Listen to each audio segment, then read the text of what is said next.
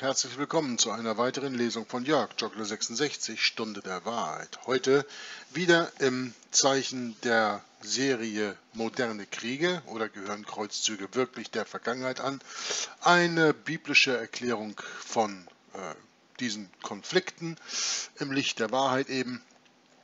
Und dieses Mal mache ich es wieder alleine, weil ich habe mich ja eingefunden, um, äh, ich denke, den zweiten und letzten Teil zu lesen des ersten Kapitels von dem Buch von Edmond Paris, das die Renate ja übersetzt hat ins Deutsche mit dem Titel Der Vatikan gegen Europa. Ja, der Vatikan gegen Europa. Es ist eigentlich der Vatikan gegen die ganze Welt.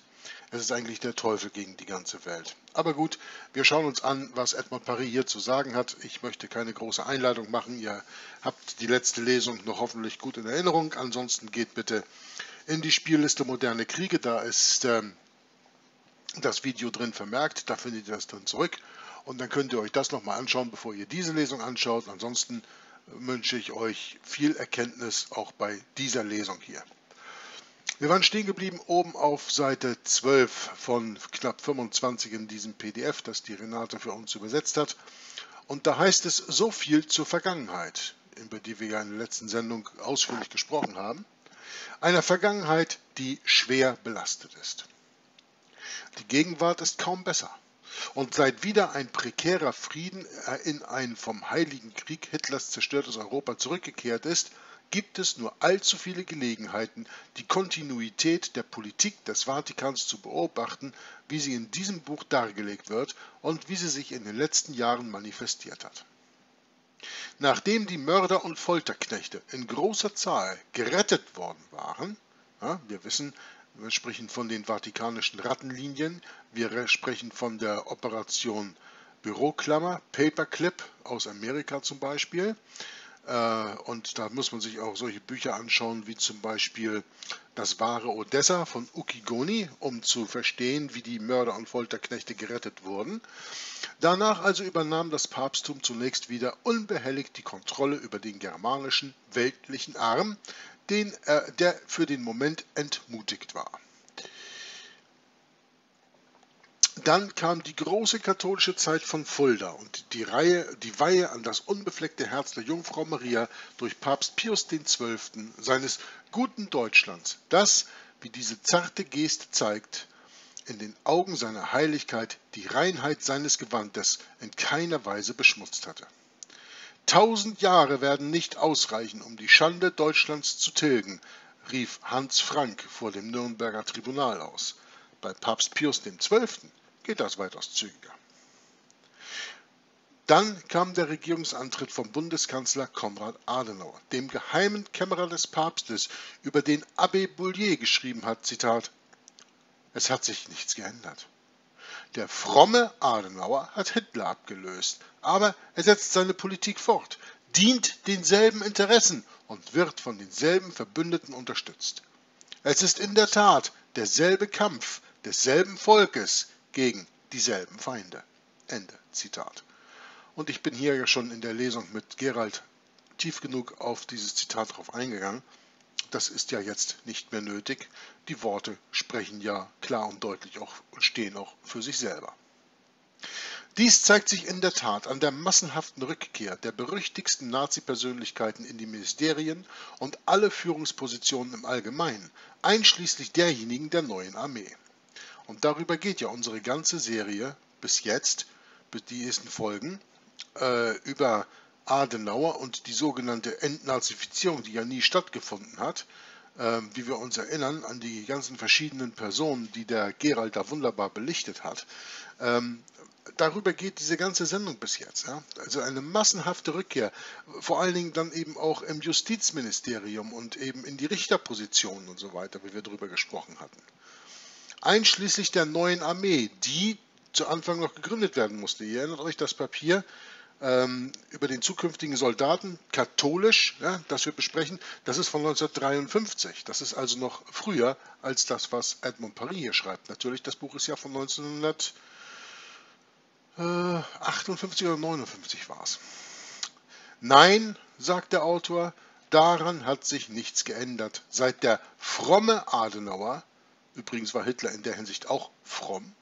sich nicht gescheut hat, in Köln zu verkündigen, Zitat, Deutschland hat einen göttlichen Auftrag, Westeuropa zu retten. ja, da müsste jetzt natürlich auch Ende Zitat sein, mit den Anführungszeichen oben. Aber sag mal, in was für einer Welt leben wir eigentlich? Deutschland hat einen göttlichen Auftrag, Westeuropa zu retten? Haben die Deutschen eigentlich damals geschlafen und den Adenauer nicht sprechen hören oder was? Worte, die natürlich sehr bekannt klingen. genau dasselbe, was Hitler gesagt hat, oder? Aber etwas noch Bemerkenswerteres sollte folgen. Die Ankündigung eines bevorstehenden Treffens der ehemaligen SS- und Waffen-SS Europas in der Bundesrepublik Deutschland unter dem Emblem der Bruderschaft des Kampfes. Müssen wir uns an die entschlossene Politik des Heiligen Stuhls erinnern, die darauf abzielte, Frankreich jene berühmten europäischen Pläne aufzuzwingen, die das Land in Wirklichkeit unweigerlich auf den Status eines deutschen Vasallen reduzieren müssen, hat reduzieren müssen? Ja, die Sätze sind teilweise nicht grammatikalisch 100% in Ordnung, aber sie sind trotzdem wunderbar verständlich. Dafür nochmal herzlichen Dank, ähm, Renate. Aber lesen wir es nochmal. Müssen wir uns an die entschlossene Politik des Heiligen Stuhls erinnern, die darauf abzielte, Frankreich jene berühmten europäischen Pläne aufzuzwingen, die das Land in Wirklichkeit unweigerlich auf den Status eines deutschen Vasallen hätte reduzieren müssen. Der gemeinsame Markt, Euratom, wobei letzteres im Bereich der Atomenergie an die Stelle der nicht existierenden europäischen Verteidigungsgemeinschaft tritt, wir haben in einem früheren Buch gezeigt, wie eng die Verbindung ist, die in den Köpfen der römischen Geopolitiker ihre Bemühungen um die Europäisierung Frankreichs, das heißt, um es Deutschland zu unterwerfen, mit denen, die sie in Suez, Marokko, Tunesien und jetzt in Algerien unternommen haben, um es ausbluten zu lassen und ihrer Gnade zu unterwerfen. Zuvor hatte es den Krieg in Indochina gegeben jenes katastrophale Abenteuer, das von der MRP aus finanziellen Gründen und zur Verteidigung der drei Bistümer von Tonkin, wie Eduard Eriot sagte, über acht Jahre verlängert wurde. Die römische Kirche scheute sich bei dieser Gelegenheit nicht, als Kolonialist aufzutreten, indem sie ihre geistlichen und vor allem weltlichen Interessen in dieser Ecke Asiens vehement verteidigte. Deswegen habe ich ja auch im, im, Englischen gelesen, Vietnam, why did we go? Vietnam, warum sind wir gegangen? Ich äh, habe noch nicht mal die Hälfte des Buches durch, aber ich werde den Rest noch lesen. Das kommt auch und das könnt ihr auf meinem rein englischen Kanal The Papacy is the Antichrist dann verfolgen und das ganze Buch dort in Englisch natürlich gelesen verfolgen. Es stimmt, dass es mit französischem Blut, französischem Gold und französischem Prestige erkauft wurde und dass die Verschwendung dieser Güter dem Rom regierenden Tiara tragenden Machiavelli keineswegs missfiel. In Dunkelafrika, in Madagaskar, wurde dieselbe Art von Aktivität durch die Tricks des Klerus und der Missionare ganz offen gegen Frankreich unternommen. Nichtsdestotrotz wird das Volk, das noch nicht in der Lage ist, sich selbst zu regieren, zur Rebellion angestachelt, ohne an die anarchischen Unruhen zu denken, die auf eine verfrühte Unabhängigkeit folgen werden. Rechnet die Kirche damit, den französischen Schutz durch eine eigene Theokratie zu ersetzen? Wir bezweifeln, dass letztere sich einpflanzen und anpassen könnte, um den von den Geopolitikern der Sakristei geliebten Begriff zu verwenden. Es scheint uns, dass die römische Kirche ohne die Unterstützung des Westens bei diesen Völkern, die von Natur aus der apostolischen Lehre wenig zugeneigt sind, einige bittere Enttäuschungen erleben wird. Diese Völker, so jung sie auch sein mögen, könnten ihrerseits den Sinn von Pax Christi kennenlernen wollen, so wie ein anderes Volk, in diesem Fall von sehr alter Kultur, wie uns die katholische Zeitschrift La Croix berichtet. Zitat die Inder sehen das Papsttum nicht als spirituellen Führer. Für sie muss jede Verbindung mit dem Papsttum bedeuten, dass Indien in fremde Kriege hineingezogen wird. Das haben die Inder dann sehr korrekt erkannt. Man muss zugeben, dass die Inder einen scharfen Verstand haben. Wird die Zeit kommen, in der die westlichen Völker zur Weisheit zurückkehrend auch die Vatikanfrage in aller Ruhe im Licht der Geschichte prüfen werden?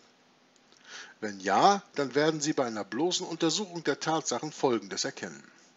dass die römische Kirche, die räuberisch und kriegerisch ist, die Konflikte schürt und die Interessen und Leidenschaften der Welt mit unfehlbarem Verrat zu ihrem eigenen Vorteil wendet, weit davon entfernt ist, ihre Aufgabe als Hüterin zu erfüllen, immer die schlimmste Särin von Zwietracht unter den Völkern gewesen ist, die sie zu befrieden und zu vereinen vorgibt. Ein heuchlerisches Völkchen, die im Vatikan die Regierung schwingen. Das war die Anklageschrift und jetzt kommt der Beweis. Der Erste Weltkrieg. Die Lage in Europa am Vorabend des Jahres 1914. Das Dreierbündnis. Antichrist Papst Pius X., Papst der österreichisch-Deutschen. Der päpstliche Absolutismus, das Verhängnis des Klerikalismus. Die Annäherung zwischen dem Vatikan und Berlin, die hauptsächlich kommt durch den Nuntius dann, Eugenio Pacelli. Die katholische Zentrumspartei unterstützt den preußischen Militarismus. Die ausgeprägte Feindseligkeit des Vatikans gegenüber Frankreich, weil Frankreich eben Ultramont den ultramontanen Führungsanspruch des Papstes nicht akzeptiert. Versteht mich nicht verkehrt, Frankreich ist katholisch, aber nur geistig. Frankreich weigert sich, die weltliche Herrschaft des Papstes anzuerkennen. Daher immer diese Probleme also die ausgeprägte Feindseligkeit des Vatikans gegenüber Frankreich. Die Reise von Präsident Loubet nach Rom. Der Papst weigert sich, ihn zu empfangen, und der Vatikan ist nicht für eine französisch-italienische Annäherung, die das Dreierbündnis schwächen würde. Das Gesetz zur Trennung von Kirche und Staat wird in Frankreich verkündet. Dreierbündnis Italien, Österreich, Deutschland. Der Bruch mit dem Vatikan. Frankreich wird vom Papsttum als Feind Nummer 1 behandelt und Monsignore Christiani oder die Kunst der Geschichtsfälschung. J.W. Draper, Professor an der Universität von New York, sagt, Zitat, die Ansprüche der römisch-katholischen Kirche bedeuten eine Rebellion gegen die moderne Zivilisation und die Absicht, sie zu zerstören, auch auf die Gefahr hin, die Gesellschaft selbst zu zerstören. Um sich diesen Ansprüchen unterwerfen zu können, brauchen die Menschen die Seelen von Sklaven. Also braucht die Kirche die Seelen von Sklaven, um das mal deutlicher hinzustellen. Ja? Die Ansprüche der römisch-katholischen Kirche bedeuten eine Rebellion gegen die moderne Zivilisation. Natürlich, das sieht man bereits im Syllabus der Fehler von Papst Pius IX. von 1864 und die Absicht, eben diese moderne Zivilisation zu zerstören, auch auf die Gefahr hin, die Gesellschaft selbst zu zerstören. Weil alles, was nicht dem Ultramontanismus der römisch-katholischen Kirche sich unterwirft, muss weggeräumt werden. Um sich diesen Ansprüchen unterwerfen zu können, braucht die Kirche die Seelen von Sklaven. Ja? Also brauchen die Menschen, das muss heißen, braucht die Kirche. Das werden wir eben durchstreichen. Äh, warum geht das denn hier nicht mit den Zeichen? Text durchhalen, okay. Und dann schreiben wir dabei, braucht die Kirche. Ne? Sonst macht es ja auch keinen Sinn. Entschuldigung. Das war eine Aussage von einem Professor der Universität von New York. Monsignore Frühwirt sagt, Deutschland ist das Element, auf das der Heilige Vater große Hoffnungen setzen kann und muss.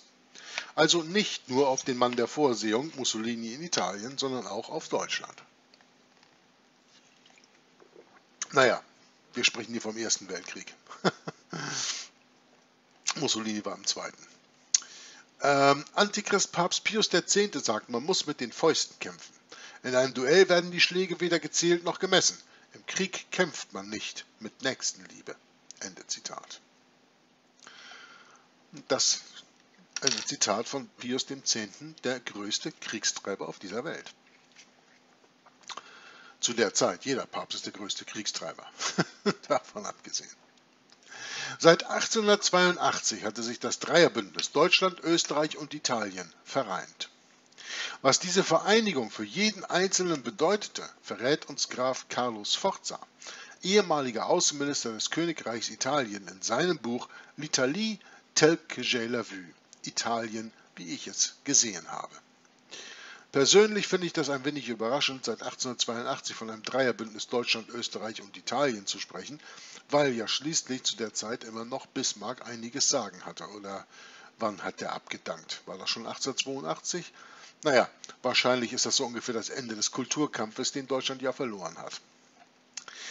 Ein Vertrag, also zu dem Zitat jetzt von Carlos Forza. Ein Vertrag schrieb Bismarck am 10. Februar 1887 an Kalnocki, damit sehen wir, er war noch Kanzler zu der Zeit.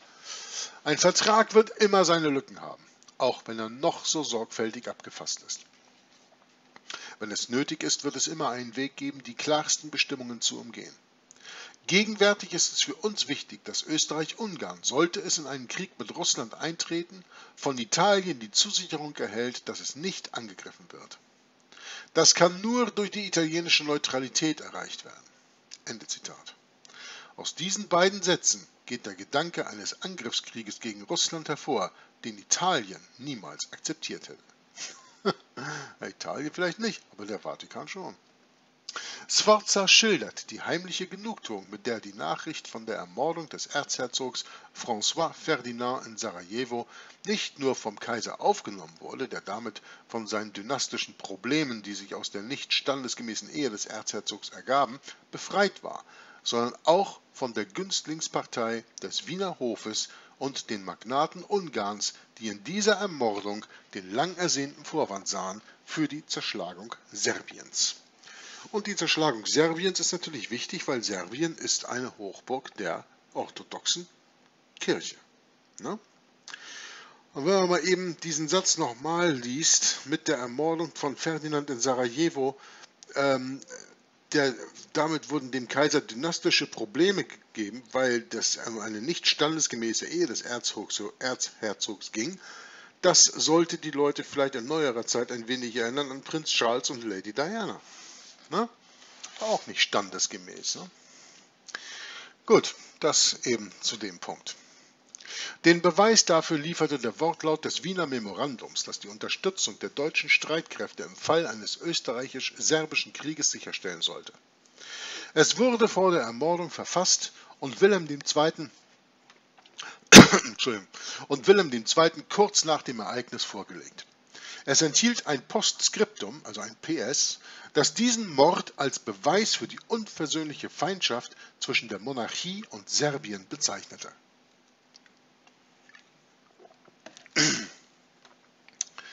Wien achtete sehr darauf, das Memorandum nicht an seinen anderen Verbündeten, das demokratische Italien, zu senden. Darin wurde nämlich daran erinnert, dass der Botschafter Österreich-Ungarns in Rom, Meret, kurz vor dem Vertrag von Bukarest, der 1913 die serbischen Annexionen Mazedoniens und die Abtrennung von Salonika an Griechenland billigte, dem Markgrafen San Giuliano ohne jegliche psychologische Vorbereitung den Entschluss der Monarchie zum Angriff auf Serbien bekannt gab. Ministerpräsident, Ministerpräsident Giolitti, Giolitti entgegnete, dass in einem solchen Fall der Casus Föderis, also der Bündnisfall, ne, wie heute in der NATO, nicht gerechtfertigt sei und bestand darauf, dass Deutschland Österreich davon abhalten sollte, sich in dieses gefährliche Abenteuer zu stürzen. Ohne Giolittis entschlossene und würdevolle Antwort wäre der Europäische Krieg ein Jahr früher ausgebrochen, fügt Sforza hinzu. Wie Kaiser Franz Josef von Papst Pius X. zu dieser Aggression gegen Serbien gedrängt wurde, wird später zu sehen sein. Doch zunächst soll gezeigt werden, unter welchen Bedingungen er, also Pius X., die Tiara erhielt. Die österreichisch-Deutschen wollen einen pro-deutschen Papst. Es wurde allgemein angenommen, schreibt René Bazin von der Académie Française, dass Kardinal Rampolla gewählt werden würde. Er wurde als Frankreich wohlgesonnen angesehen.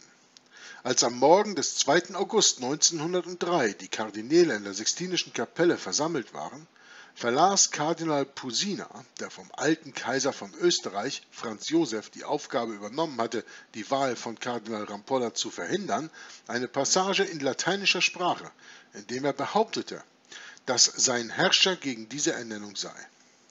Seine Missachtung der Realität war so groß, dass er sich durch seine Mission geehrt fühlte. Man hätte hoffen können, dass diese alten Missbräuche der weltlichen Macht in der Geschichte, die wir lesen, bleiben würde und nicht in das übergeht, was wir leben. Die Emotionen gingen hoch. Kardinal Rampolla hat sofort geantwortet. Zitat ich bedauere, dass bei einer Papstwahl von einer weltlichen Macht ein schwerer Schlag gegen die Freiheit der Kirche und die Würde des Kardinalskollegiums geführt wurde und protestiere daher aufs schärfste. How dare you? Wie traust du dich, bitteschön, weltliche Macht in die geistigen Geschichten der Kirche eingreifen zu wollen, sagt er hier mit anderen Worten. Die abendliche Abstimmung ergab 35 Stimmen für Giuseppe Sarto, der Pius X. war, gegenüber 16 für Kardinal Rampolla.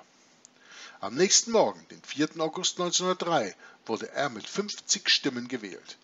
Die Krönung des Papstes fand am Morgen des 9. August in Petersdom statt. Kardinal Macchi setzte dem Papst die Tiara auf das Haupt und sagte Empfange die Tiara mit den drei Kronen und erkenne, dass du der Vater von Fürsten und Königen bist, der Richter der Welt. Unter, der, unter den gegebenen Umständen war diese Floskel von grausamer Ironie, denn, so schien es zumindest, das gesamte Konklave hatte sich soeben dem Willen seiner apostolischen Majestät, des Kaisers von Österreich und König von Ungarn, gebeugt. Nun, das Wort anscheinend wird betont, denn auch wenn die Tatsache der österreichischen Intervention von dem bedeutenden Historiker Adrien Dancet bestätigt wird, ist der katholische Schriftsteller Charles Ledre nicht der Meinung, dass die Intervention wirklich notwendig war, um die Bekehrten zu überzeugen. In der Tat ist es seiner Meinung nach müßig als Erklärung das von Österreich in grundsätzlicher Übereinstimmung mit Deutschland bei der Wahl von Kardinal Rampolla eingelegte Veto anzuführen. Unter den Kardinälen, die entschlossen waren, Rampolla am Aufstieg auf den päpstlichen Thron zu hindern, befanden sich auch viele Politiker, Anhänger des Dreierbündnisses. Papst Pius X. bewies dies deutlich, als er bei seiner Thronbesteigung Kardinal Marie del Val, einen spanischen Prälaten und bekennenden Germanophilen, zum Staatssekretär wählte.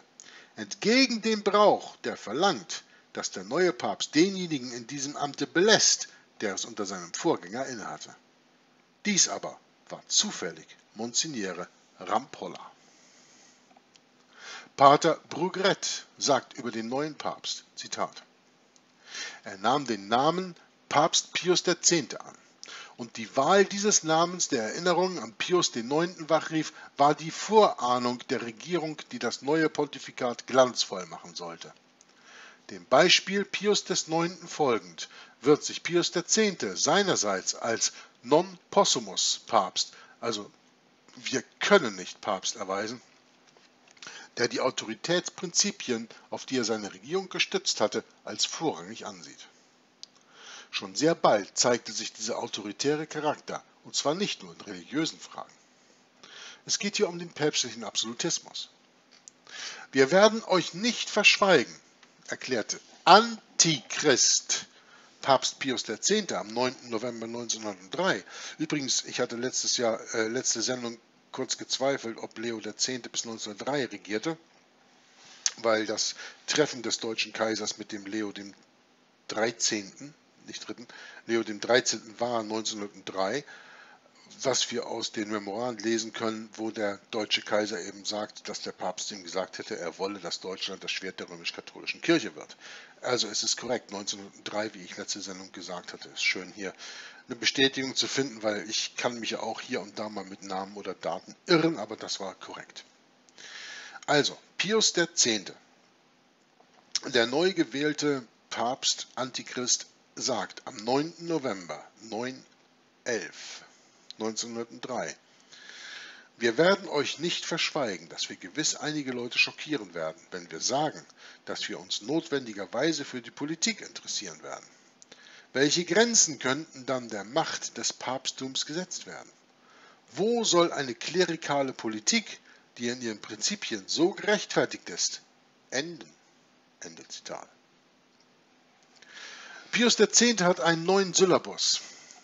Ein, das ist ein Verzeichnis, eine Zusammenfassung, das ist auch eine, äh, eine Ordensschrift, sage ich mal, eine, eine Befehlsschrift, nenne ich es mal.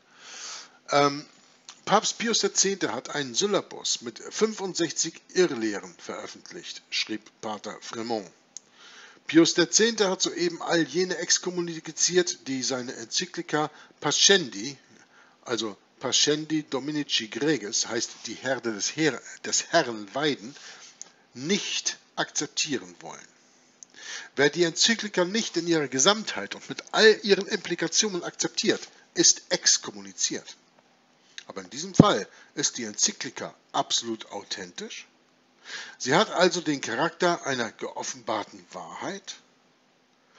Also mit anderen Worten spricht der Papst hier ex cathedra unfehlbar. Pius X.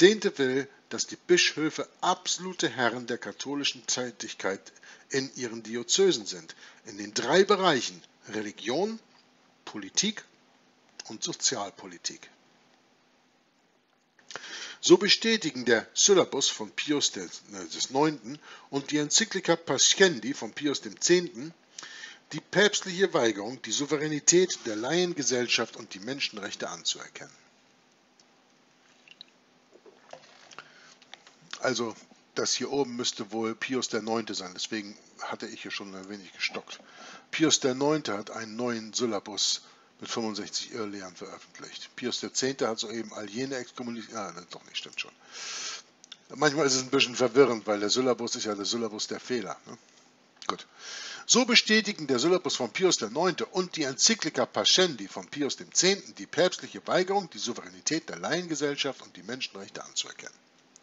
Pierre Casenave, der sich fragt, ob die katholische Kirche es vermeiden kann, einen gewissen politischen Einfluss auszuüben, stellt fest, dass aufgrund ihres internationalen Charakters jeder Staat ihr nicht nur innerhalb seiner Grenzen, sondern auch in der großen Welt der internationalen Politik begegnen muss. Und er fügt hinzu, Zitat, wenn er sie innerhalb seiner Grenzen bekämpft, läuft er Gefahr, dass sich ein Nachbarstaat gegen sie erhebt, der sich der Kirche bemächtigt hat. Wenn er sie innerhalb seiner Grenzen bekämpft, läuft er Gefahr, dass sich ein Nachbarstaat gegen ihn erhebt, der von der Kirche ergriffen wurde oder sich ihr ergeben hat. Also, wenn er sich innerhalb seiner Grenzen, wenn er sie innerhalb seiner Grenzen bekämpft, läuft er Gefahr. Und dann nochmal, wenn er sie innerhalb seiner Grenzen bekämpft. Also ich schätze mal, da ist hier etwas verkehrt aus dem Buch zitiert. Das muss wohl einmal außerhalb sein und einmal innerhalb der Grenzen, ne? weil es macht ja sonst keinen Sinn. Wenn er sie innerhalb seiner Grenzen bekämpft, läuft er Gefahr, dass sich ein Nachbarstaat gegen sie erhebt, der sich der Kirche bemächtigt hat, also gegen den Staat. Wenn er sie außerhalb seiner Grenzen bekämpft, läuft er Gefahr, dass sich ein Nachbarstaat gegen ihn erhebt, der von der Kirche ergriffen wurde oder sich ihr ergeben hat. So macht es in meinem Verständnis mehr Sinn. Und genau das ist, wie wir sehen werden, mit Frankreich 1914 und auch 1939 passiert. Auch Frédéric Hoffet hat die Unausweichlichkeit dieses Eindringens des römischen Klerus in den politischen Bereich klar aufgezeigt. Zitat Der Katholizismus ist seinem Wesen nach klerikal und politisch. Katholizismus und Klerikalismus sind zwei austauschbare Begriffe. Ende Zitat. Das römische Konzept der Kirche behandelt jeden wahren Gläubigen als einen Soldaten im Dienst der kirchlichen Institutionen, einen Soldaten, der wie alle anderen seine Waffen nicht wählt.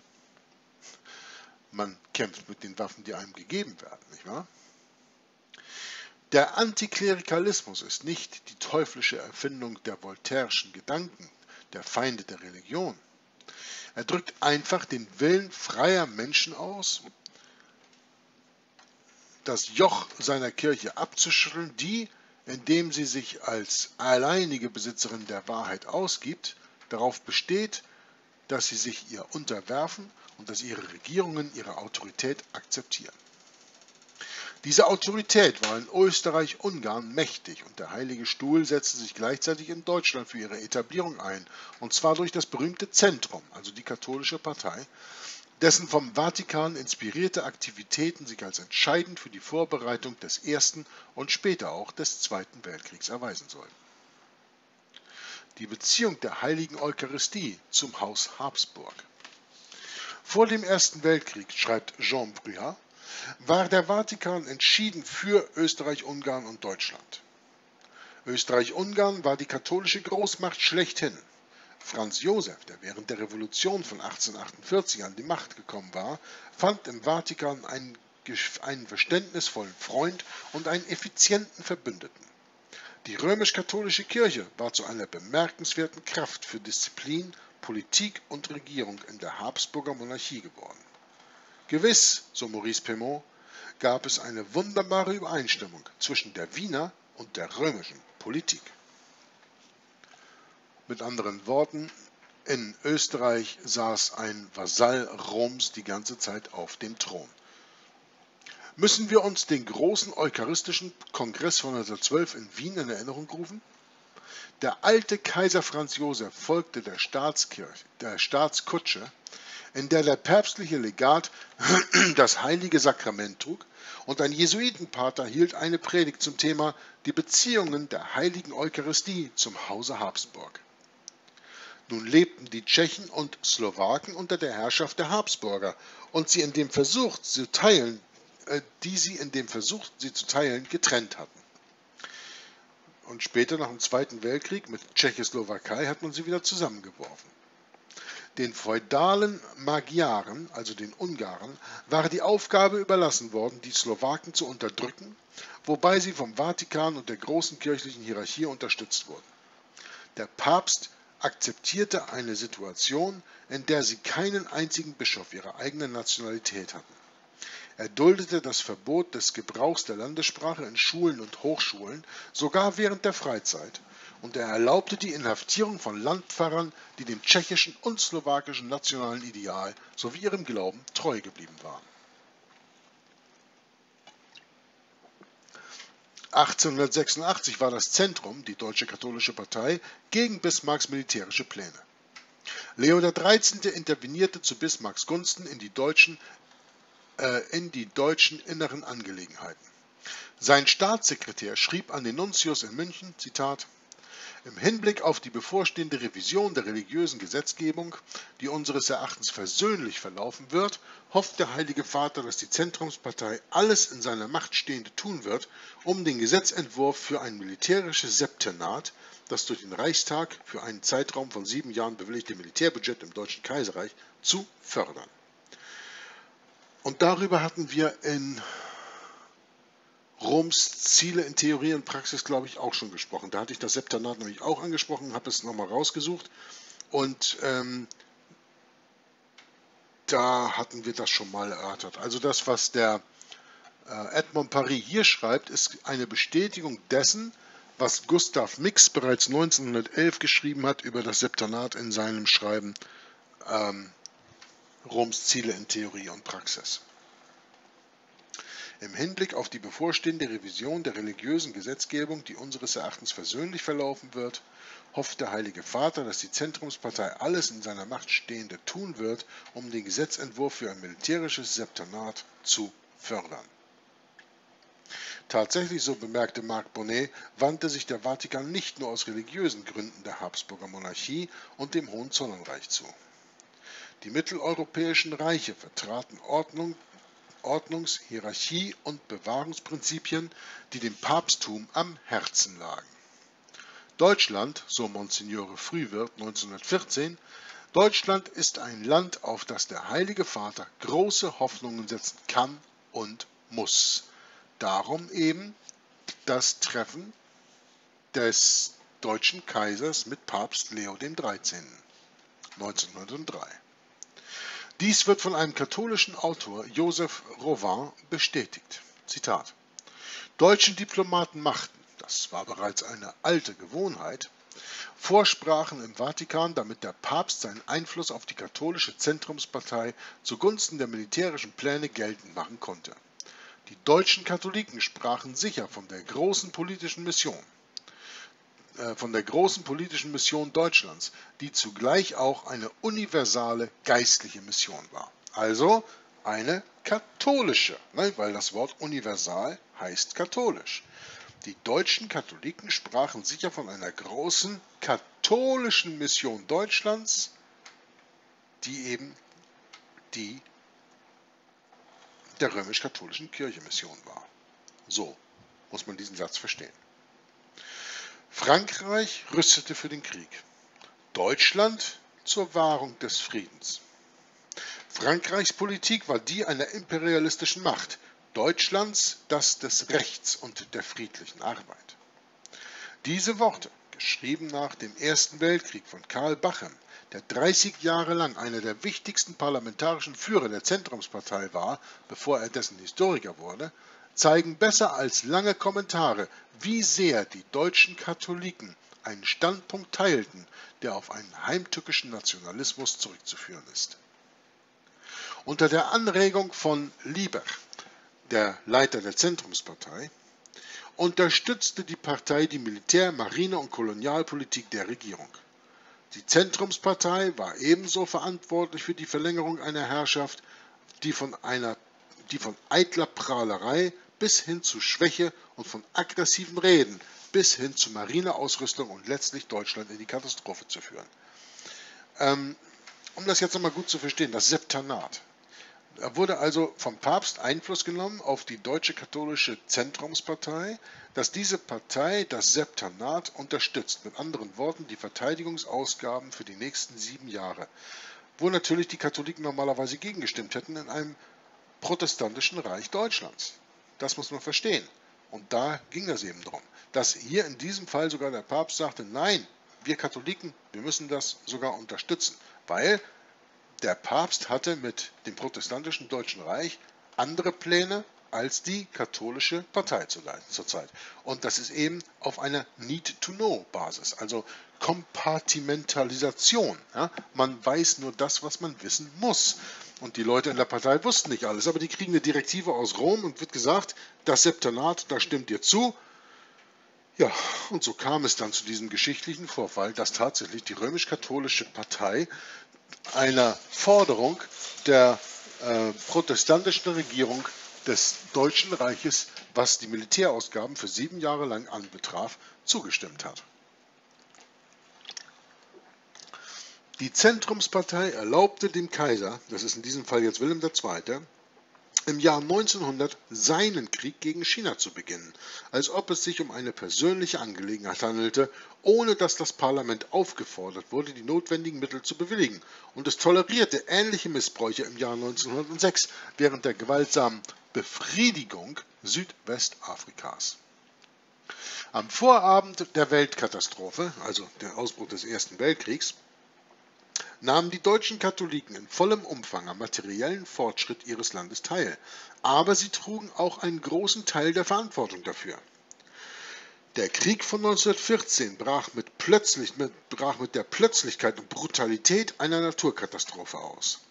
Die Zentrumspartei trat in den Krieg ein in der Überzeugung, dass seine Sache gut begründet war und in der Gewissheit der Reinheit und moralischen Rechtschaffenheit der Führer seines Landes, der Übereinstimmung seines Programms und Plans mit den Zielen der ewigen Gerechtigkeit. Wenn ein Krieg jemals gerecht war, so schreibt der Jurist Karl Bachem, Abgeordneter und Zentrumshistoriker, wenn ein Krieg jemals gerecht war, dann war es der große Krieg, soweit es Deutschland und Österreich betraf. Das war die einhellige Überzeugung der Zentrumspartei. Und hier spricht also die Zentrumspartei von dem Großen Krieg, was später die Russen vom Zweiten Weltkrieg taten. Interessant, wie dieselben Worte wieder gebraucht werden. Von der Begeisterung über die ersten großen deutschen Siege mitgerissen, erlagen einige der angesehensten Führer der Zentrumspartei dem Trugbild eines siegreichen Friedens und propagierten die Idee von Massenannexionen, die eine unbesiegbare Grundlage für die deutsche Hegemonie in Europa bilden sollten. Da muss man sich mal solche Filme anschauen wie 0815 im Westen nichts Neues und äh, dann in diesem Film wird eigentlich ganz gut diese Hysterie über die ersten großen deutschen Siege gezeigt. Am 1. November 1917 wird der alte Führer der Zentristen, Freiherr, jetzt Graf von Hertling, zum Kanzler ernannt. Ein dekorierter Parlamentarier, ein ultramontaner Führer, der den Platz von Bismarck einnimmt. Ja, 1917 wurde auch das Jesuitengesetz zum zweiten Mal gelockert. Das Jesuitengesetz, das Bismarck 1872 eingeführt hatte und damit die Jesuiten verboten hatte. Das Gesetz wurde in den folgenden Jahren gelockert, ich glaube zum Ende des 19. Jahrhunderts hin und hier 1917 nochmal, bevor es dann etwas später, ich glaube 1919 oder so, ganz abgeschafft wurde. Und warum? Ja, weil der alte Führer der Zentristen, der Führer der Zentrumspartei, zum Kanzler ernannt wird. Das heißt, Deutschland hat seine katholische Regierung. Hier schon. Wenn der Zentrumsführer, die katholische Partei, den Kanzler bestimmt oder den Kanzler stellt, dann haben wir eine katholische Regierung. So, 1917, da ging der Krieg noch. Und dann kam das Kriegsende, dann kam die Weimarer Republik, dann kam Hitler, auch ein Katholik, dann kam Adenauer, auch ein Katholik. Also wenn ein Ding deutlich ist, dann ist es auf jeden Fall das, dass die Katholiken die Deutschen immer in den Untergang geführt haben. Das sollte jedem inzwischen klar sein. Die Berufung eines Katholiken in ein solch hohes Amt spricht in der Tat Bände über den langen Weg, der in Deutschland seit dem berühmten Kulturkampf zurückgelegt wurde. Dem Kampf um die Kultur und gegen die römische Kirche, die vom eisernen Kanzler Bismarck so grob behandelt worden war. Bismarck hat die Kirche nicht grob genug behandelt. Das sind meine Gedanken dazu.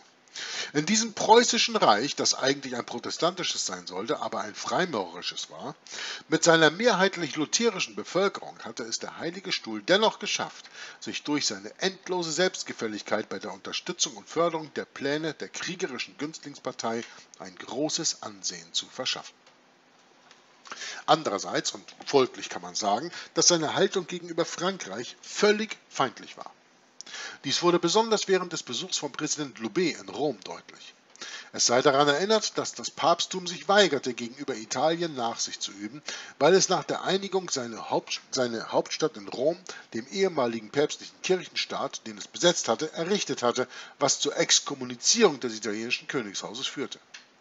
Nun suchte der französische Außenminister de Classé eine Annäherung an Italien.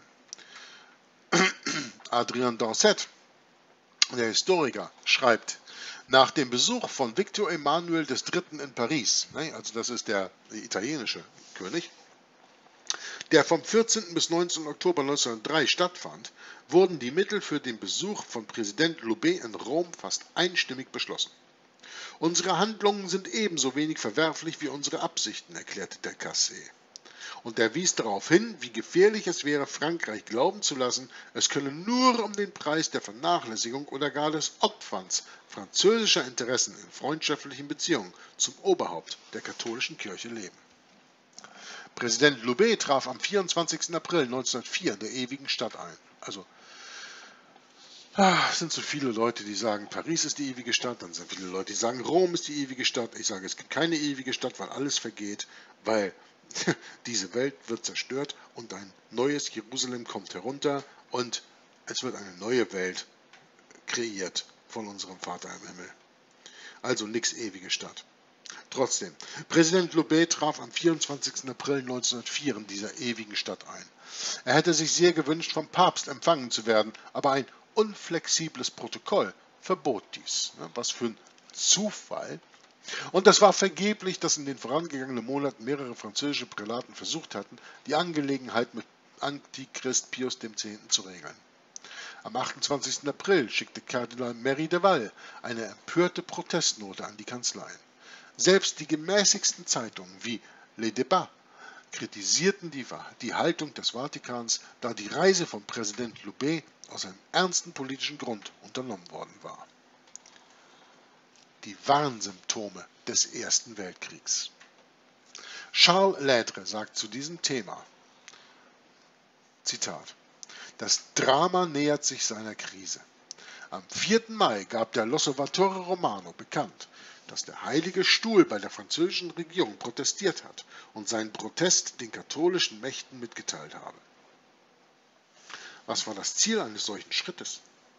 Um zu verhindern, dass Loubets Präzedenzfall zur Gewohnheit wird, konnten die päpstlichen Diplomaten diese entscheidend wichtige Annäherung, die sich nach dem Besuch von Präsident Loubet in Rom nun deutlich abzeichnete, nicht erkennen?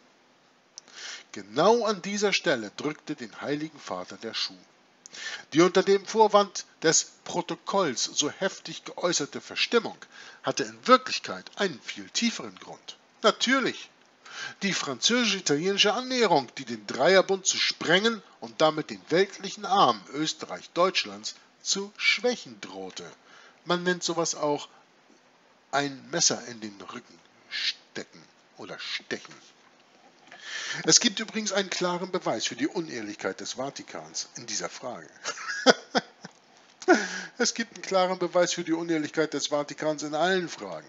Der Vatikan muss unehrlich sein, weil der Vatikan ist das vierte Biest von Daniel Kapitel 7. Ja? Das Tier, das geritten wird von der Frau, das die ganze Welt niedertrampelt. Das ist immer nur unehrlich. Weil mit Ehrlichkeit würde der Vatikan nicht weit kommen. Es gibt übrigens einen klaren Beweis für die Unehrlichkeit des Vatikans in dieser Frage. Der Papst war nach Ansicht des Vatikans nicht in der Lage, ein Staatsoberhaupt zu empfangen, das mit seinem Besuch beim König von Italien und in Rom die Legitimität der Usurpation dieses ehemaligen päpstlichen Staates anzuerkennen schien. Tatsächlich gab es jedoch Präzedenzfälle. Bei zwei Gelegenheiten wurde ein Staatsoberhaupt, nämlich Wilhelm II. in Rom gleichzeitig vom König von Italien und vom Papst empfangen. Und Monsignore Christiani, ein Prälat, der in Kürze wiedererwähnt werden soll, spielt in seinem jüngsten Buch darauf an. Bei seiner Thronbesteigung bestand der neue Kaiser Wilhelm II. bei einem Besuch äh, bei seinem Verbündeten, dem König von Italien, darauf, am 12. Oktober 1888 auch dem Papst einen offiziellen Besuch abzustatten, eine Geste, die er 1903 wiederholen sollte. Diese Geste von 1903 führte zu dem Treffen mit Antichrist Papst Leo XIII. und dem Zitat aus den Memoiren des Kaisers, dass der Papst vom Kaiser fordert, dass der Papst will, dass Deutschland das Schwert der römisch-katholischen Kirche wird.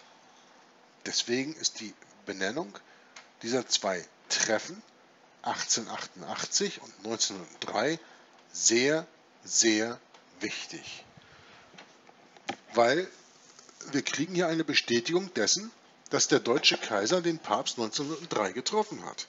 Und je mehr Zeugen wir für eine solche Aussage haben, desto besser.